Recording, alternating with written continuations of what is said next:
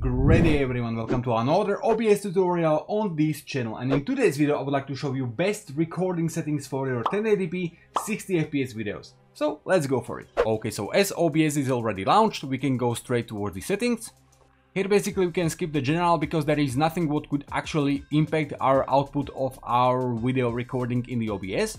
And we can also skip of course the stream because we are talking in this video about the best recording settings, not best streaming settings. So we are going straight towards the output and here all the show begins. So first of all, make sure that your output mode is set to advanced instead of the simple. So we'll click on this advanced and then we are going towards this recording folder. So instead of the streaming, we are going to talk about the recording. So click on this.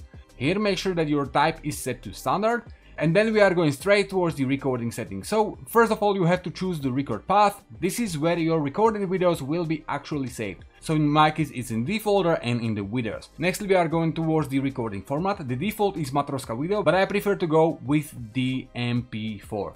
So I will choose this one Nextly, we are going to choose the video encoder. Here, basically, you are choosing the best encoder depending on your hardware. The default video encoder is X264. What you are also using in case you have stronger CPU than your GPU. But in case you have NVIDIA GPU card and it's stronger than your CPU, then I would prefer to go with NVIDIA NVENC H264, as it's better option with better quality than X264, but as not everybody has the NVIDIA GPU, the default is X264. So in the end, you will choose one of those two options, X264 or NVIDIA NVENC H264. In my case, as I have NVIDIA graphic card and it's stronger than my CPU, I'm going with NVIDIA NVENC H264. Audio encoder we can keep with FFmpeg AAC and then we are going to choose the audio track here it could be quite a longer topic, but in default you can keep it at 1 and it will record everything what you have set for your audio track 1, what in default will of course be your desktop audio and your microphone.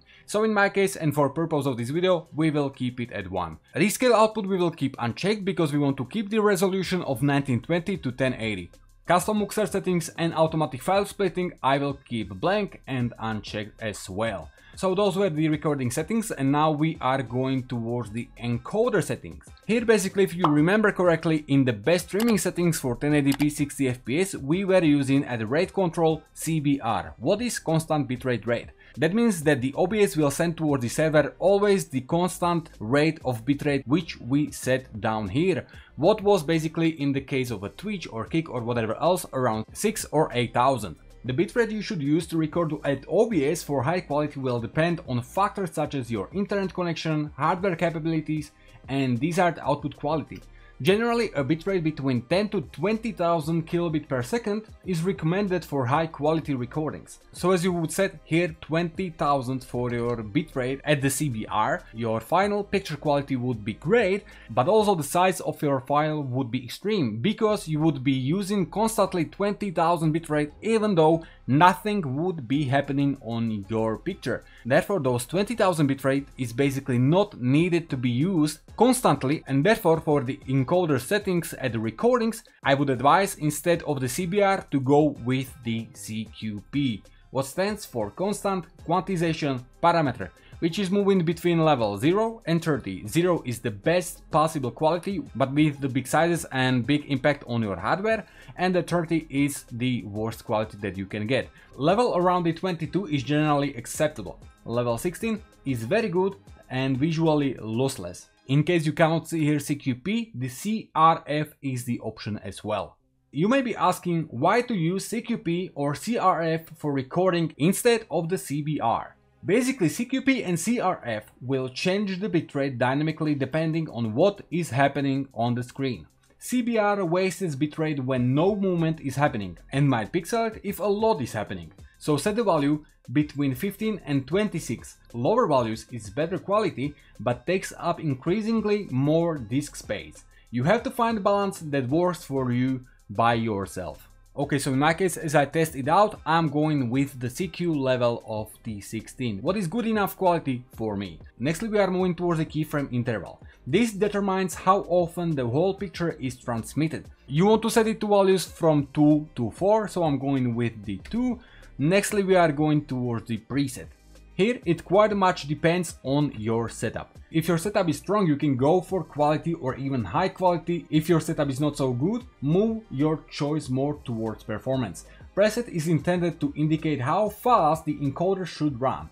Faster presets will use less CPU at the cost of quality computations. Slower presets will use more computation for quality, but will use much more CPU. So in the end, it's up to you and you have to check this out and test it out which works perfectly for you, where your videos has the best possible quality, while your video or your game or whatever else is actually not impacted much by your choice. In my case, I'm going with P4 medium quality. But of course, in case you have stronger hardware and you want to reach the best possible record settings, you want to go with the slower ones. Okay, tuning, we are keeping it on high quality. Multipass mode, here basically we want to go with two passes if hardware allows it to you, as multipass mode is used to determine whether a second pass is used in encoding and has three settings, disabled, quarter resolution and full resolution. Enabling this will give higher quality at the cost of more GPU resource usage. So in your case, as you want to get the best possible quality for your video, you want to go with two passes, full resolution. Nextly we got the profile, which you should set for high. Most people should use high, which will allow you to use full hardware acceleration for better encoding. If you notice your system is lagging and you are dropping frames, kick it down towards the main which is less taxing on your PC but won't give you an image as sharp as high. Look ahead we want to keep it unchecked as look ahead function is adaptively changing the B frames. In case you are recording dynamic content then it's better to disable look ahead and specify 2 B frames. So here in the max B frames you will specify it towards the 2. Psychovisual tuning, it allows the encoder to sacrifice some parts of an image to enhance other parts to make the overall perceived visual quality better to the human eye. So in my case, as I want to reach the best possible video quality, I'm going with checked psychovisual tuning. Okay, and GPU, you can leave the GPU at the zero if you have only one graphics card. In case you have two graphics cards, in this case you want to put there one, because this is usually the better graphics card. But in my case, as I have the single one graphics card, I'm going with the zero. Okay, so that's all for the recording settings. Now, of course, don't forget to go towards the audio. And here you want to make sure that your audio bitrate is set to 320. In case you are, of course, recording in the 1080p 60 fps videos. So I will choose 320 and now we are moving towards the audio. Here at the sample rate for the most applications, the 44.1 kHz is sufficient. However, if your audio equipment supports it and you want the best possible audio quality for your video, you can set this to 48 kHz. Channels we will keep on stereo. In the global audio devices, of course I will choose towards the desktop audio my headphones. Then I will set my microphone, which is in my case microphone 2C1U so I will set it up. In the global audio devices there is nothing else what needs to be set. I can keep decay rate at fast, peak meter type sample peak and everything else can stay as it was in the default. So I will click on apply and we are going towards the video. Here the base canvas resolution is basically the resolution of your monitor or it's best to match the resolution of your monitor. But default settings is 1080p, what is 1920 to 1080. The output scaled resolution is what will be in the end recorded by the OBS what will be in the end the resolution of your recorded video. Here you can set whether you want to record in 720p, 1080p or anything else. But as in this video we are talking about the best possible settings for your 1080p 60fps video, we are going of course with 1920 to 1080.